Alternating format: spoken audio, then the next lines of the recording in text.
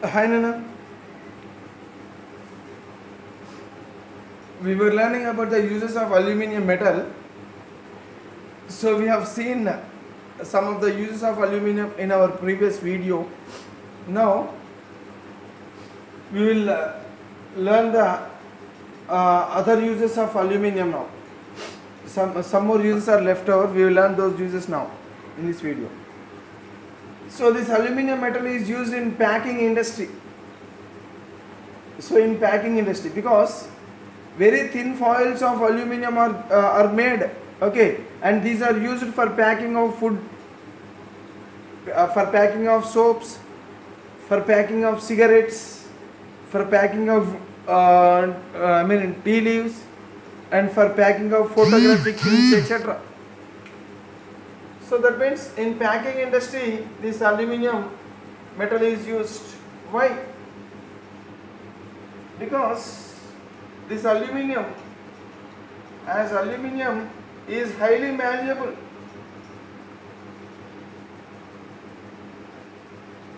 As it is highly malleable. Okay so what is malleable? Making into thin sheets. That means making making into thin sheets. That means that aluminium metal can be beaten into very thin sheets. Okay as it can be made beaten into very thin sheets so it can we can make uh, aluminum foils very thin aluminum foils or else thin sheets. So that is why this aluminum is used in the packing industry because as we can make thin thin foils or thin sheets and these foils can be used uh, uh, for several purposes. And one more thing. So uh, here even the uh, the other properties which help uh, uh, uh, to be used uh, i mean this aluminum to be used in packing industries because this aluminum is resistant it is resistant uh, resistant to corrosion. So this is also another important property why aluminum is used as packing material i mean packing uh, uh, i mean packing foils. And also as it is cheaper this aluminum is cheap and shines okay it uh, shines silvery gray uh, silvery appearance. It shines a bright silvery appearance. Bright silvery shining. So that is why so it looks uh, it looks uh, uh, i mean uh, nice. So that is why aluminum can be used. So the main reason is it is uh, it is malleable. That means this aluminum can be beaten into very thin sheets and it is resistant to corrosion. And it is cheap and uh, its color is bright silvery okay it shines. Okay. So that is why uh, this uh, I mean these are the properties which make uh, aluminum to be used in packing industries. Okay now let us learn about the uh, use of other use of aluminum so aluminum it is used in in painting industry also. In painting industry.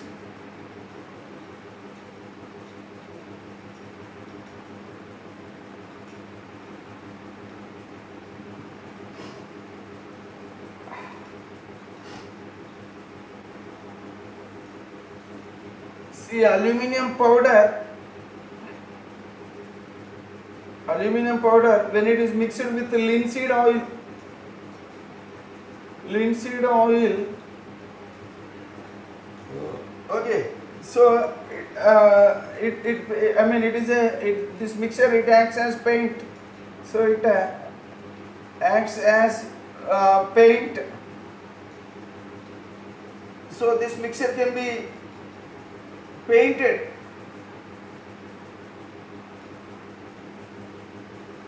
on the iron poles okay okay acts as paint okay uh,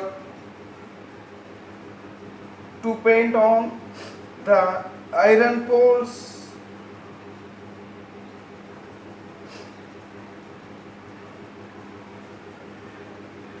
See iron poles actually they are painted with uh, this uh, they, I mean this painting so this is what this is a paint this mixture is a paint.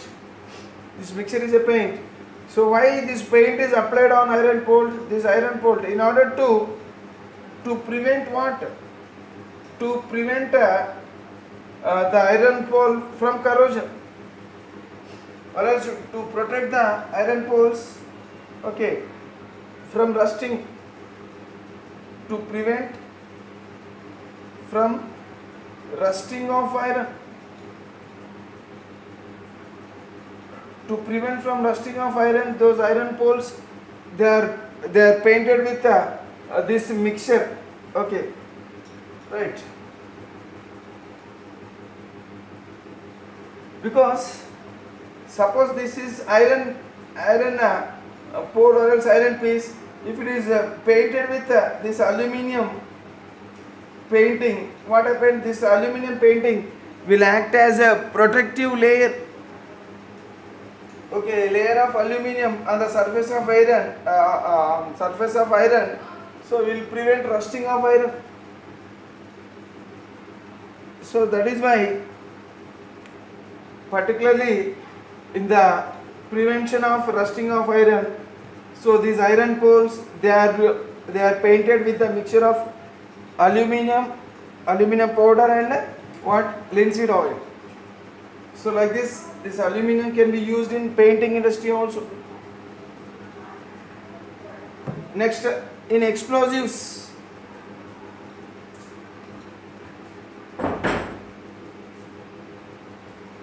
Aluminum can be used uh, in the manufacturing of explosives. That means it can act as it can act as an explosive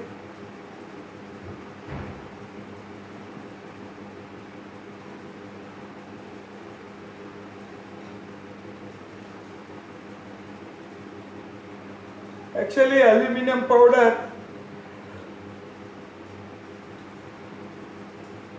When aluminum powder and ammonium nitrate and ammonium nitrate are mixed. So the mixture of aluminum powder and ammonium nitrate so this mixture it can be ignited ignited easily that means it can catch fire very easily. Okay. So as the mixture of aluminum powder and ammonium gets ignited easily so that is why this mixture this mixture this mixture is used as okay this mixture is used as used as explosive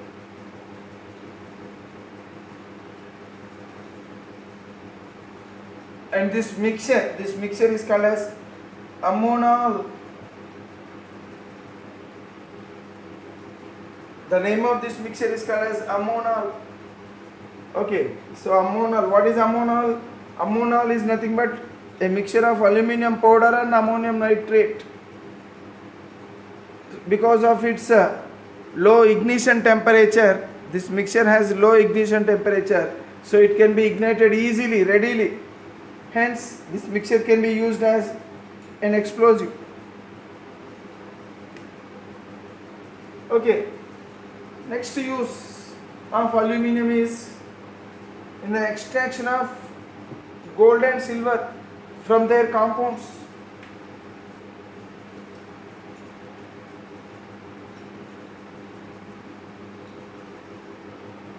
In the extraction of gold and silver from their compounds.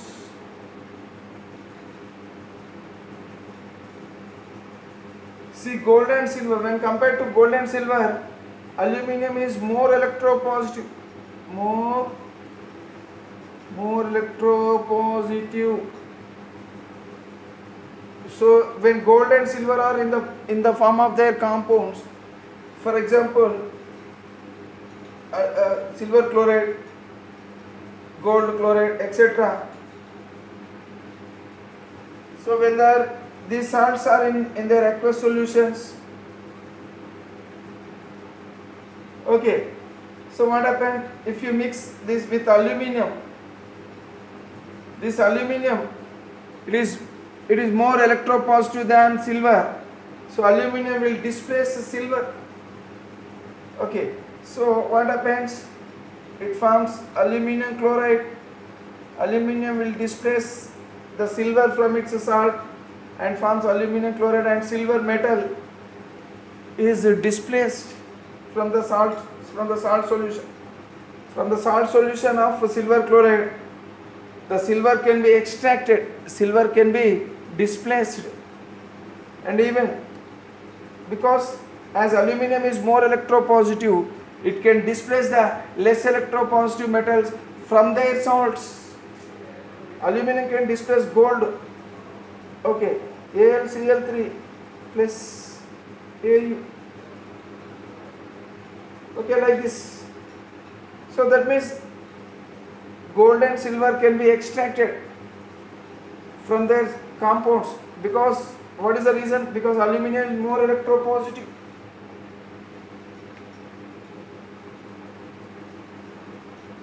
इसमें goldsmith goldsmith when they work with gold when they work with gold और silver what happens during their work they use acids they use some acids so in those acids what happens this gold और silver okay their ions their ions they're dissolved in the acids Okay, gold and silver, some amounts of metal, these metals are dissolved in acids. Dissolved, these metals are dissolved in acids in their work. So that means these metals and their compounds when they are used by goldsmith so these metals they are dissolved in the acid so from uh, from this acid these metals can be re- uh, these ions can be recovered as metals gold metal or silver metal. So with the help of uh, these reactions when aluminum powder is added into the suppose this is acid suppose this is acid in, in which uh, these ions are present. So we cannot find these as uh, these ions because these ions are dissolved. As they are dissolved we cannot find them separately. We cannot uh, fi- find that gold or silver though though gold and silver they are present in the sol- uh, in it but they are present in the form of liquid as they are dissolved. So we cannot uh, find uh, the gold or silver separately on it, in it. So upon addition of aluminium powder, when when aluminium powder when aluminium powder is added to this acid, then what happens? So this reaction takes place, and uh, what happens? The gold or silver will be precipitated out, will be settled at the bottom. That means to recover gold or silver from this uh, acid solution okay goldsmith will use aluminium powder they will add will add aluminium powder. These metals when aluminium powder is added to these acids which is having dissolved uh, silver or gold then that uh, dissolved silver or dissolved gold it will it will settle it will come out it will precipitate it will turn into solid form and settles at the bottom and now these metals can be recovered. Okay. From the salt solution so in this way aluminum can be used uh, in the extraction of gold and silver from their compounds the next use of the next use of aluminium is this aluminium is used as reducing agent in organic reactions.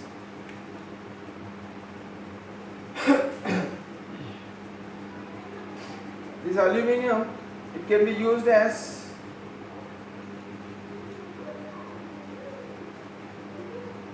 reducing agent okay in in organic reactions.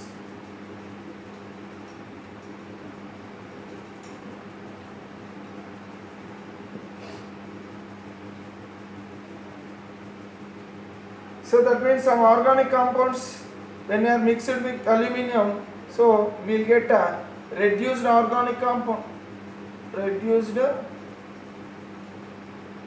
organic compounds we will get.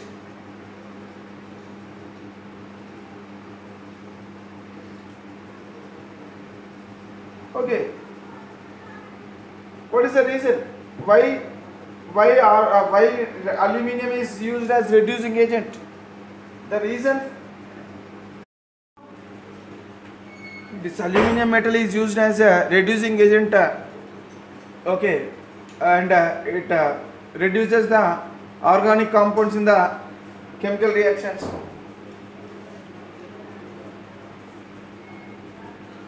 That means in the reduction of organic compounds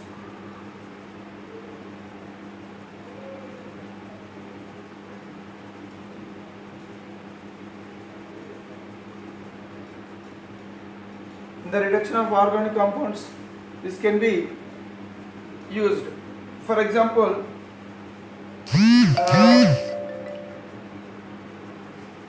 uh, C2H4 this is an organic compound. It is having a double bond like this.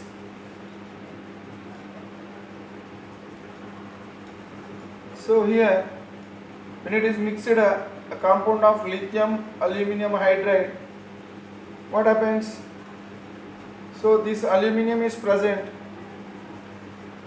so what happens? It, acts as reducing agent hence it supplies hydrogen to this one. So reducing agent will supply hydrogens or else will supply electrons or else will take away oxygens from a compound. So this is organic compound and this aluminum it is used as a reducing agent hence it supplies hydrogens and uh, this uh, this is called as ethylene. Ethene or ethylene and it is converted to ethane. Ethane. Like this.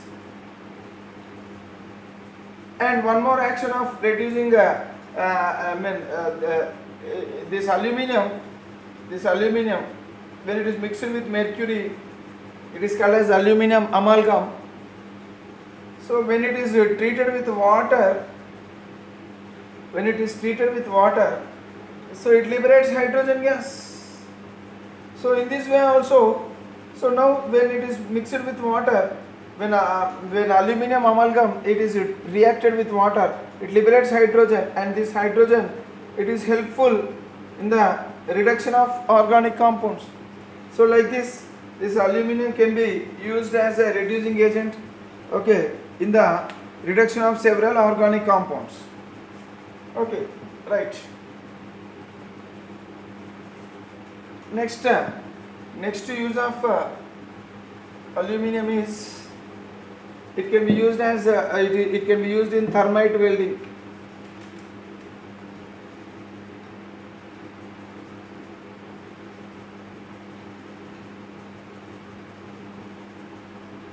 What is what is thermite?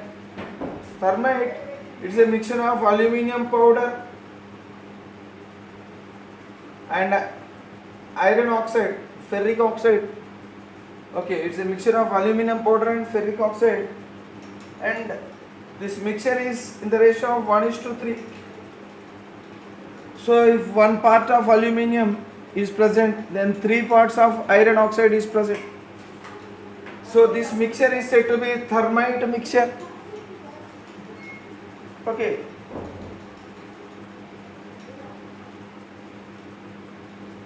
so here what happens this aluminum is aluminum metal is a strong reducing agent. It reduces the iron iron oxide into iron.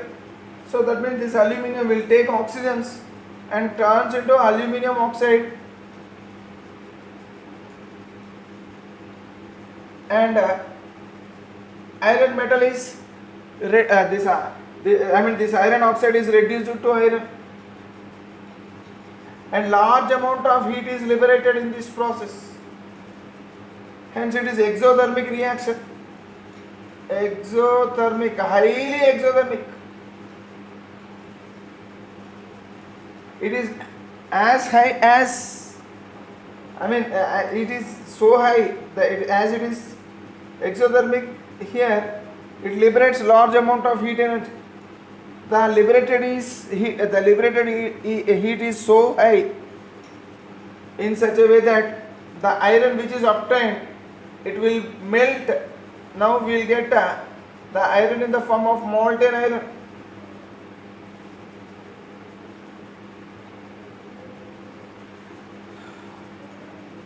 Okay.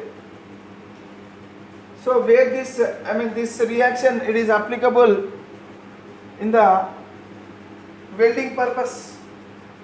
For example so the, here it is used in welding. It is used in welding purpose. Example if you speak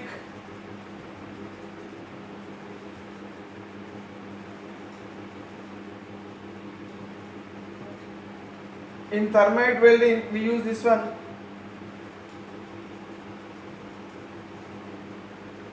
so here when uh, when the mixture of, when thermite mixture so the thermite mixture what is thermite? Thermite is nothing but this one. So that mixture it is kept in a uh, it is kept in a clay pot. So this is a pot. So what is this one? It is a clay pot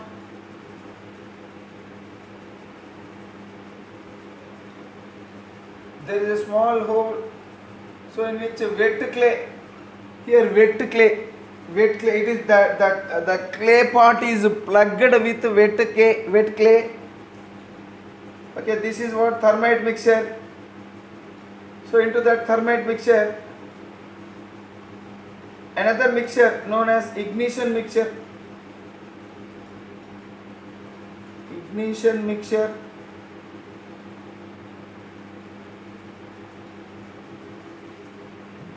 What is this one? This is one thermite mixture.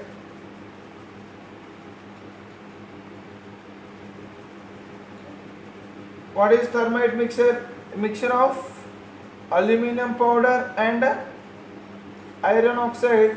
Okay, in the ratio of 1 is to 3. Then what is uh, ignition mixture? Ignition mixture. It's a mixture of magnesium metal, magnesium powder, and the magnesium, barium oxide.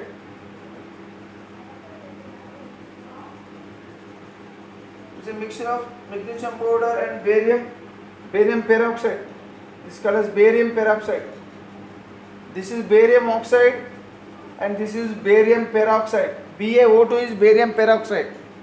So the mixture of magnesium powder and barium peroxide it is said to be ignition mixture okay.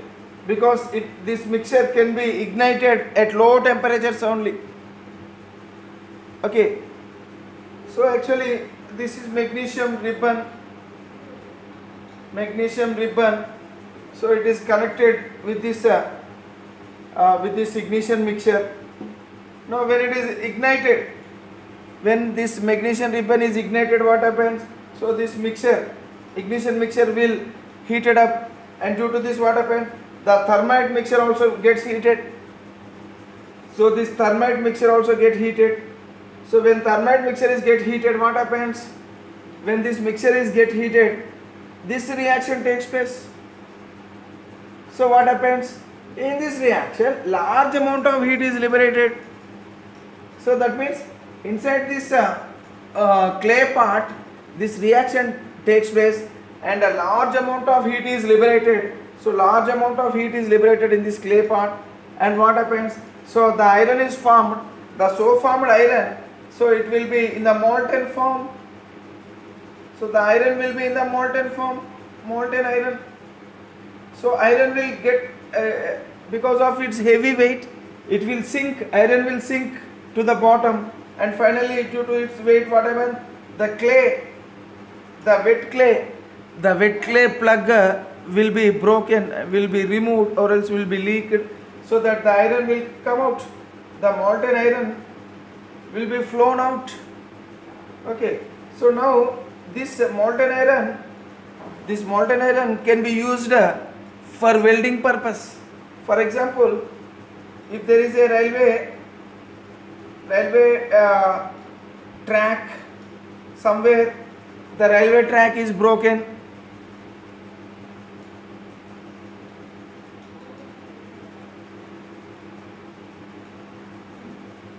So this is a railway track and somewhere the railway track is broken here. So due to the uh, um, due to the breakage of this one or else sometimes there may be cracks also. If there is any crack or else if there is any breaking of the railway track what happens? It leads to accidents. So every time the railway department will keep on checking the railway uh, the entire the rail road uh, i mean the rail track. So if there is any if there is any breakdown or else if there is any crack in the rail what happens? Immediately this reaction is made.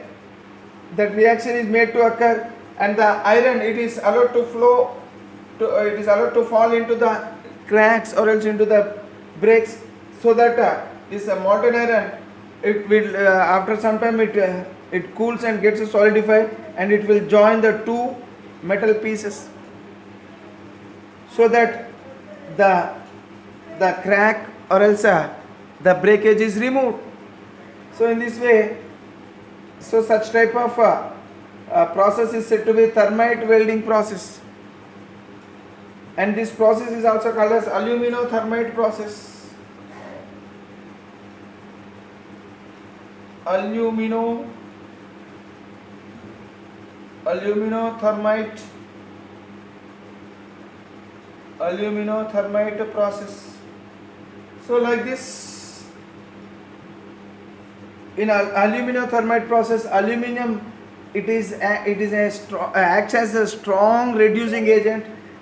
And this aluminothermite process is a highly exothermic process.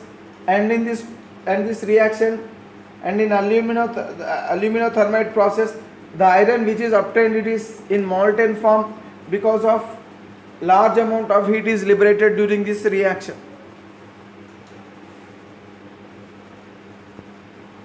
So like this uh, this is another important use of aluminum.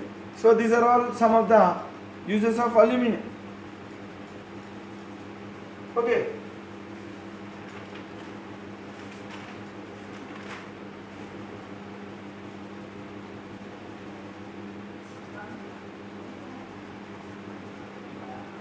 discuss about the other things uh, i mean uh, till here the metallurgy of aluminum is finished. So in the next uh, class in the next video we will discuss about the metallurgy of zinc.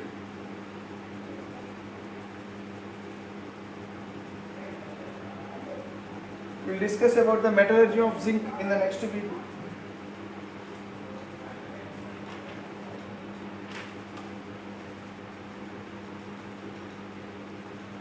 okay bye